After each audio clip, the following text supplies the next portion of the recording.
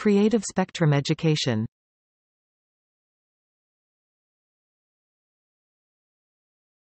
How do you say excuse me in Ukrainian? Перепрошую.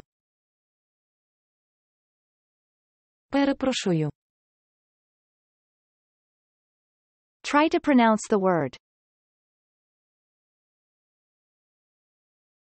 Перепрошую. Repeat the word. Перепрошую. You've learned how to say excuse me in Ukrainian. Well done, you did great, and thank you for watching. Consider subscribing if you like our videos. You can also support us, so that we can keep making educational content. Feel free to visit the donation link to our website.